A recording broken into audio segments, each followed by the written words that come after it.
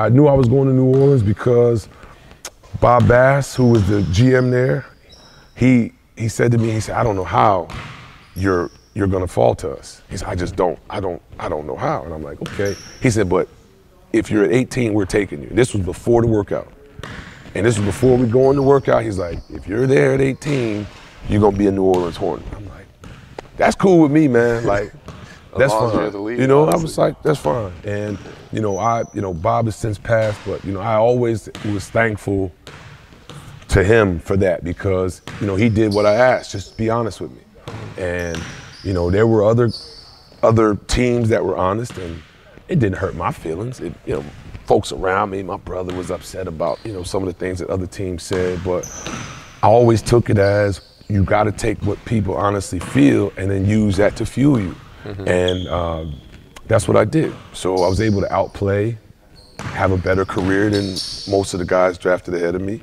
Yeah. and not too many of y'all were. There was a, it was a loaded class, but only a handful of all stars. Right, exactly. You're in, you're Exactly, In that. so- and that's the that's probably the greatest class, maybe One of them. One of One the greatest 'em, classes yeah. of all time. Right, You know, right, so, right. Yeah, you were one of the all stars on that. You could have went back to the Pacers, Mm-hmm. but you decided to leave, and you didn't take back the 12 million. I remember during that time period, we had like. Uh, there was an AAU tournament or Yeah. something like that. Yeah. I was down there and I was like, "Yo, Dave, why the hell did you take?" so Right, I right, remember yeah. telling you that at the hotel. Yeah. And then you told me like something. I still think about it like all the time. You said like, long term is never about the money. Your decision making in that time, what really went into it?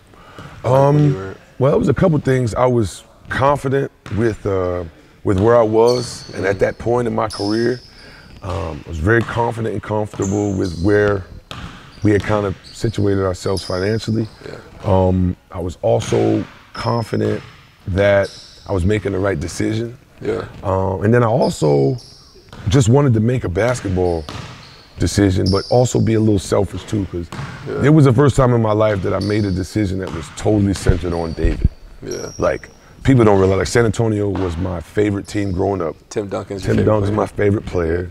Like I literally idolized that organization, you know, every everything about it. Like, you know, sort of my philosophical mind when it comes to basketball is centered around like my childhood and watching the Spurs and watching David Robinson and Tim Duncan and all that stuff. So the opportunity to go there was a selfish one. As soon as we lost in the playoffs, Did you know you was you were going to Golden State? yeah, I knew I was going. Because I mean, already they- it. Bob, Bob reached out while I was on the bus, I, I, and I joke with him all the time about that. Yeah. He's like, "Man, you're gonna get me in trouble," but like literally, because they wanted me to come there the year before, but I'm like, I, I, I'm going to the Spurs. Yeah. So then when they reached out, I was like, okay, we'll we'll give it a run because, you know, at that time they needed what I could what I could provide. Like they needed some some veteran leadership. They needed um, a steady locker room presence, and then they needed somebody who could still be productive on the floor um, in spots. And so I was able to to fill my role there, you know, well. But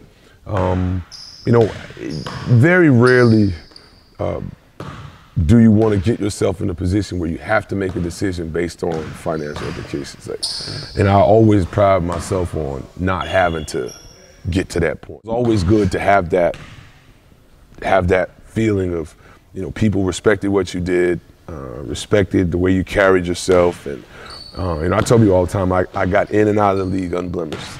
You know, was able to get in and get out and remain intact, and um, you know, that's something that, um, like I said, when I when I mentioned it to you years ago, long term, those are the things that you want to be, you know, you want to have as a part of your legacy.